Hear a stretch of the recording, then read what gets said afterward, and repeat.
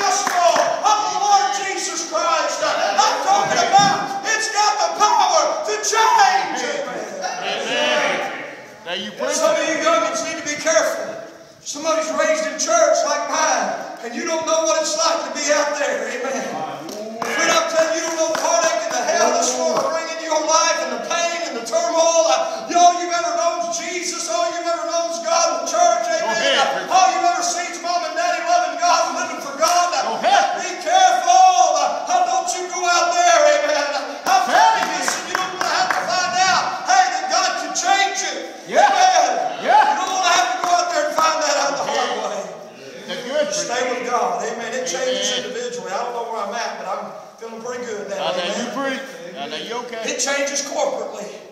Not only does it change individuals, but it changes corporately. Mm-hmm. Listen, friend, the only thing that's going to change America is the gospel. Amen.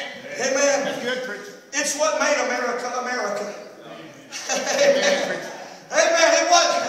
Ah, hallelujah. Go ahead, preacher. Yeah. Now you I'm having telling me. you, I might as well go and get political. Y'all dead anyhow. Uh, now Amen. you having me. You know why America's great? Listen, it's, it's not because uh, uh, that our forefathers were that great in themselves, but they knew there was something that they could found a nation on Yeah. Yeah. that would stand the test of time. Go ahead, preacher. They knew that if they could get a people to listen and read and live by that book, that a nation can make it, friend, standing upon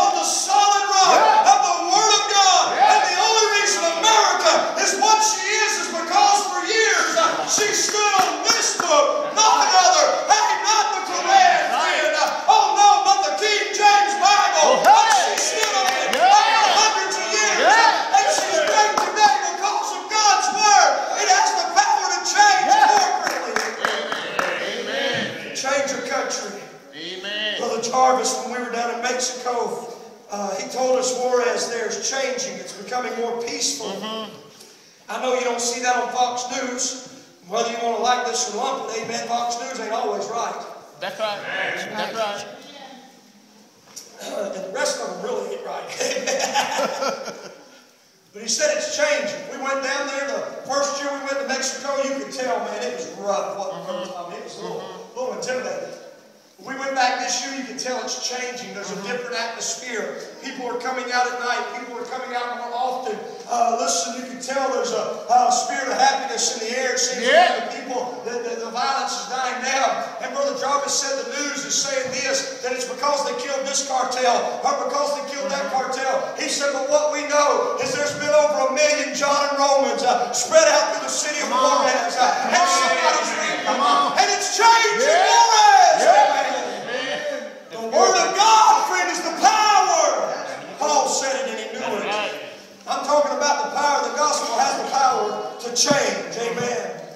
Just, uh, someone told me just recently we gave out those John and Romans. I've already had two people listen to me. You say it doesn't matter, preacher. It's not that important. I've already had two people come to me and tell me that there was people on their jobs, how that maybe they knew or didn't know, but they walked in the break room or they seen them out in the car and they had open one of these, friend, and they're reading it. Hey, listen, Yeah. they're reading the Word of God. Yeah. Where did it come from?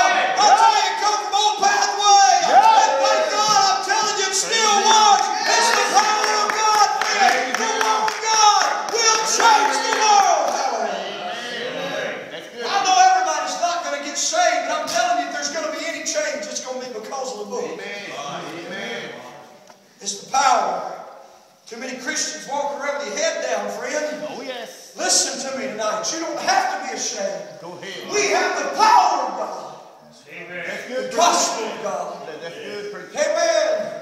That's good. Listen, you say, oh, preacher's just because you're a preacher. No, it's because I'm a Christian tonight. You don't have to be ashamed. Amen. Amen. Amen.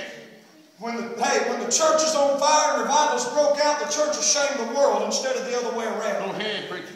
Go ahead, preacher. churches, we're ashamed and the world's mocking and laughing. Hey, when we get right with God and the power of God is on us, they'll be ashamed. And like Elijah, we'll be mocking and laughing. Amen. Sure. That's good, preacher. Power of the gospel.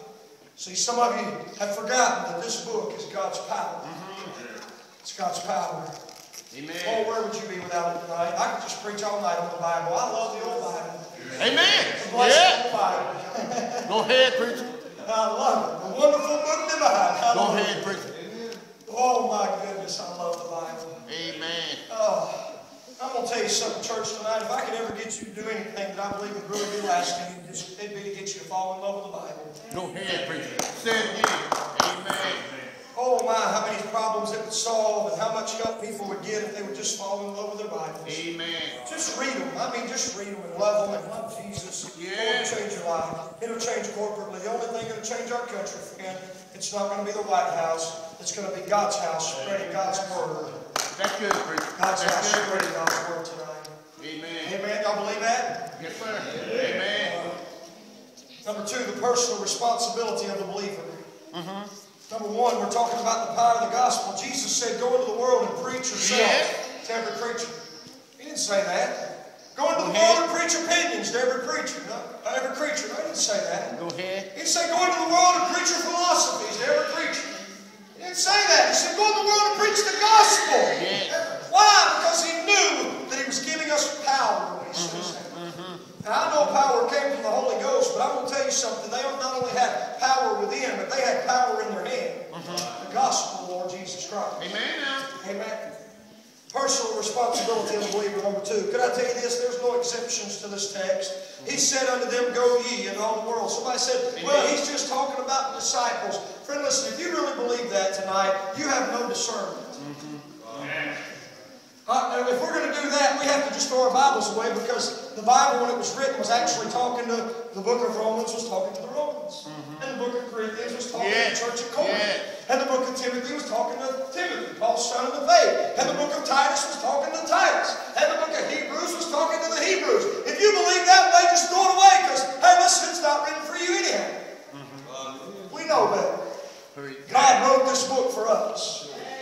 Amen And he now. said, Go Yeah. ye into all the world and preach the gospel to every creature. Yeah. Can I tell you there's no exceptions from this? There's too many Christians today sitting on the sidelines hoping that everybody else is going to run the ball to the end zone. Amen now. Go ahead. Go ahead.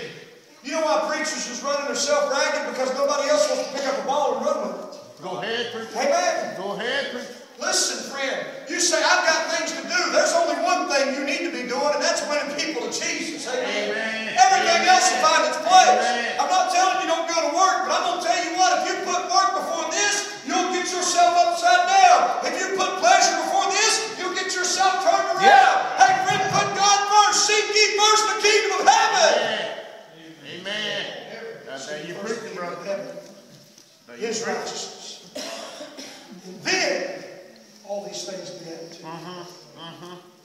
Too many people today doing everything but God's thing. Amen. There's no excuses. No excuses tonight. There's too many Christians, listen, they went AWOL on God. They've got 50 million reasons why they can't serve Jesus. That's Amen. good, I mean, we come up with a million reasons why we can't come to church. We come up with a million reasons why we can't work in the bus ministry. We come up with a million reasons why we can't do soul winning visitation. We come up with a million reasons why we can't read our Bible, why we can't pray, why we can't do anything for God. Friend, I'm going to tell you something. When you stand before a holy God, all those excuses are going to, they're not going to be good. Amen. Amen. I mean, you can believe what you want, and I know what most preachers will tell you that, oh, when we get in heaven, boy, you know, Jesus is just going to be lovey-dovey. But even for the church over there, the Bible Go ahead, talks about the book of Luke, he was an austere man. In other words, he was he was he was cold in his, in his nature, in his face. He's coming back looking at the church and he expects and he requires something of us. That's good, preacher. He says, Look, I saved you. I gave you something. Good. What did you do with it? My, my. And the one fellow said, You know, well, I knew who he was and I went and buried it. That's, that's 99% of Christianity in the modern world. Amen. Go ahead. I knew who you were and I went and buried it. There's no excuses before God. God says to that man, Hey, you did know who I was. You should have just let me keep my own money. You shouldn't have buried it. Amen. Wow. Listen to me tonight, friend. There's no excuse for not serving God, for not spreading the gospel, for not going ye into all the world and preach the gospel to every creature. I don't want to get ahead of myself, but you say, well, preacher, I can't go out into the world. I can't go around the country or around the globe. And, and I understand that, friend, but listen, there's other ways besides your bodily presence getting into a country that you can get the gospel to another country. That's Amen. That's good. It's called missions. That's good, preacher. Amen. Amen. Yeah, those are those guys that come in and have to beg for money because they're starving to death in a foreign country trying to give somebody the gospel. Mm-hmm. That's good, preacher. You say, we're smarter than that too, preacher. Come on, I don't believe it. Go ahead, preacher. We got everything in the world in America. Man, we got new cars and big TVs and That's I mean, we got cell phone bills that are bigger than the average missionary's monthly income. Something small. Amen. Say, does that make you angry? Yes, it does. It's not right. We go buy new toys and gadgets and gizmos. Missionaries can't even spread the gospel. They're starving in families in another Amen. country. And it's Amen. wrong. You say we can't help them all, no, but we could help some. That's right. Amen. That's right. We could help some. You ought to support missions if you don't. Amen. Amen.